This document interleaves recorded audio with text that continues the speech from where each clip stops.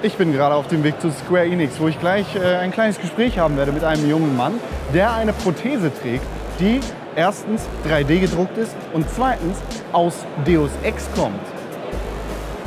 Crazy, oder?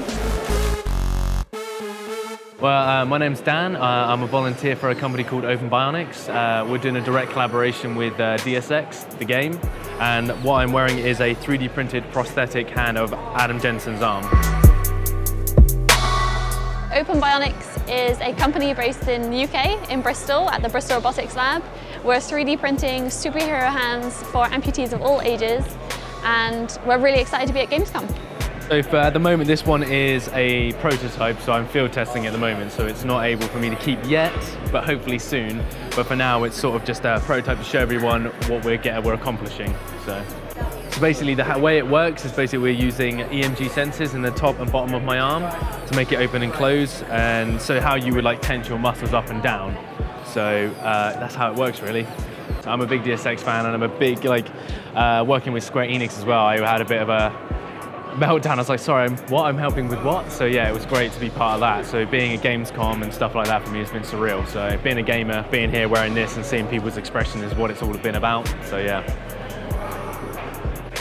Uh, so we co-founded Open Bionics because we wanted to make advanced bionic technology more accessible. So we wanted to take the best robotic hand ever made and then make it affordable for the masses.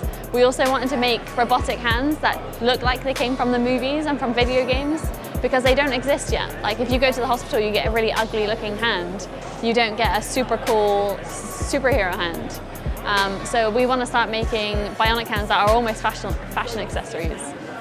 It's how low cost it is and how functional it is. It's not just something that looks cool, it actually adds benefit. It can, it can help an amputee in everyday life. Um, it's also open source, so Deus Ex ha has allowed us to share the designs so anyone can download this hand for free from the internet and 3D print it at home. Well, we share the 3D design files um, and we share detailed instructions on how to put it all together. Adam Jensen's arm is incredibly sleek. It, it's muscular and we've been playing around with making muscular shapes for a while now. Um, and the Titan arm, it's so geometrically shaped, it's, it's uh, really beautiful. It's almost like a modern piece of art that you wear. Um, so we couldn't think of a better team to work with. And they've spent like 10 years designing these arms, so they've thought about it a lot. So from the, the advanced bionic hands that are currently available, um, they're not that different. The technology isn't that different. They have the same control system, which is EMG uh, based. So that means when Dan squeezes his muscles in his arm, he can tell the fingers how to move.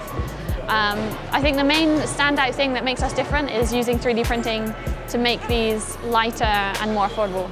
If there was a hand available that was lighter, faster, stronger than a human hand, and you had a very labour-based job, then why wouldn't you want that augmentation?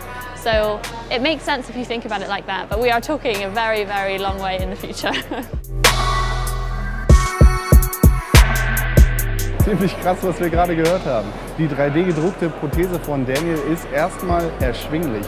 Die Preisspanne zwischen klassischen Prothesen und 3D-gedruckten Prothesen ist einfach horrend. Und Open Bionics hat mit der 3D-gedruckten Prothese aus Deus Ex Human Revolution quasi möglich gemacht, dass Daniel erstmal eine ziemlich fette Prothese aus dem Spiel, das er ziemlich cool findet, bekommen hat und ihm die Möglichkeit gegeben, eine günstige Prothese zu benutzen, die dann auch noch gut funktioniert. Wenn das mal nicht die Zukunft ist. Außerdem ist Daniel ein ziemlich netter Typ gewesen. Folgt ihm auf Twitter unter Daniel J. Melville.